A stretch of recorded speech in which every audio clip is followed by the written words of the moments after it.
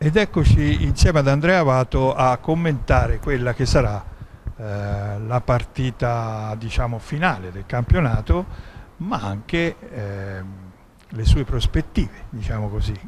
Cosa succederà a Pistoia? Ma io credo e spero che l'Arezzo prenda questi ultimi tre punti e quel, eh, in quel momento sono d'accordo con Dalcanto potrebbero veramente fruttare il quinto posto in classifica con tutti i vantaggi che ne conseguiranno e che ben conosciamo. Perché anche tu pensi che diciamo, Entella e Piacenza non lasceranno punti all'avversario rispettivo? No, penso che la Carrarese potrebbe anche pareggiarla la partita. Insomma, un risultato di, diverso dall'1x a Chiavari sarebbe, non dico una sorpresa, ma quasi. E quindi è per questo che l'Arezzo ha buone chance di arrivare al quinto posto. Sì, è un gioco a incastri, no? perché, perché, poi dipende anche da quel che fa il Piacenza Siena, naturalmente, perché eh, la stessa Entella, eh, se dovesse vedere che il Piacenza vince largo, non so come, beh, comunque è difficile pensare che perda. No, comunque è anche difficile pensare che il Piacenza vada a Siena a vincere largo, insomma, ecco, se non poi alla fine della partita. Eh, poi è chiaro che stiamo parlando di, di, del nulla, poi magari va tutto al contrario, la Carrarese vince facile a Chiavari e, e il Piacenza perde, perde, a Siena. O come abbiamo visto anche nell'ultima partita casalinga, l'Arezzo può incontrare delle difficoltà Pistoia, magari eh, inaspettate ora.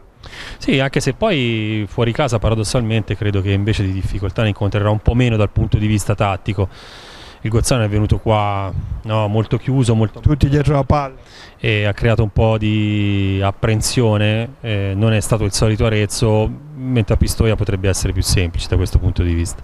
Per quanto riguarda la formazione, come al solito dal canto ha lasciato capire un po' poco, ma eh, perché lui dice ah beh ce l'ho tutti a disposizione, eh, in effetti tranne Salifu ormai sono quasi tutti a disposizione. Eh, però non si è capito bene se rientreranno tutti e tre coloro che hanno saltato l'ultima partita eh, oppure no e, e, se confermerà gli altri.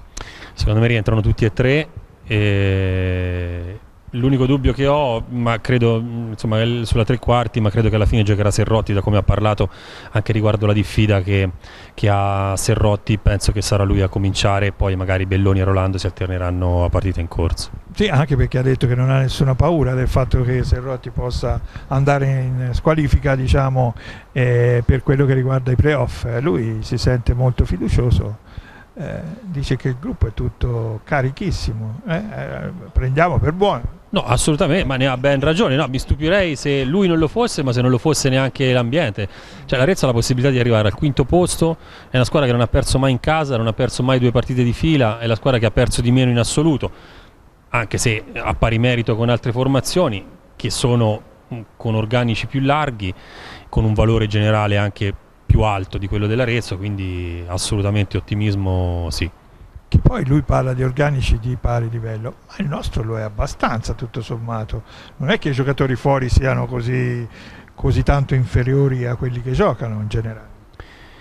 Dell'Arezzo dici? Beh, insomma, eh, io dico che un ricambio vero di Brunori l'Arezzo non ce l'ha, per esempio. Eh, o se ce l'ha, ce l'ha il recupero attuale. Quindi... Il ha dimostrato che insomma, anche un ricambio vero di Basit eh, non c'è. I ricambi più numerosi e più affidabili sono in difesa, dove infatti eh, dal canto ha ruotato più che negli altri reparti. Sì, in effetti a centrocampo la scelta è ampia, ma magari il sostituto di Basit, come hai detto giustamente te, non è facile da trovare e poi tocca spostare tutto il centrocampo come è avvenuto eh, nella settimana precedente, naturalmente. Comunque, eh, veniamo per, per, ultimo ai playoff e diciamo, noi i playoff intanto li giochiamo, li possiamo giocare con una certa serenità, non ci è richiesto di vincerli, eh, allo stesso tempo li, li giochiamo perché ci piace la lotta per vincere. No, sono una grande opportunità, sono una grande vetrina, sono anche il giusto premio per una squadra che ha girato, non dico al massimo, ma quasi per tutta la stagione, che non ha mai avuto delle grandi flessioni che devo dire non ha mai steccato veramente una partita, neanche quella di, di Carrara eh, e soprattutto è una possibilità per eh, giocarsi quella chance che hanno tutte le squadre che partecipano ai playoff. Secondo te, eh, va bene, nel primo, diciamo, nei primi due spareggi, ammettendo che l'Arezzo vinca, eh, ce la giocheremo con partite secche e casalinghe probabilmente, se poi arriviamo sesti una casalinga una... Sì, che poi non è detto neanche non se arriviamo sesti, eh, che se la quinta poi va fuori con la decima. Esatto, eh, non si sa. Il, eh, mentre dopo saranno andate e ritorno. Tu cosa preferiresti?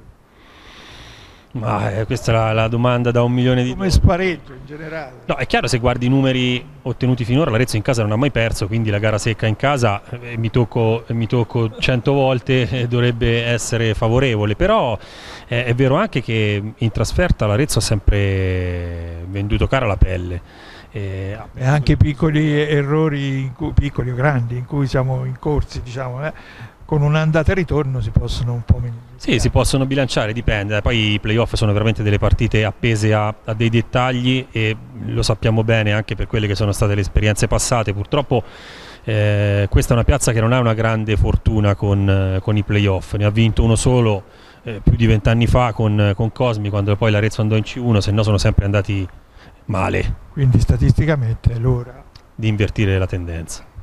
Forza Arezzo, la carica c'è. La carica c'è, grazie.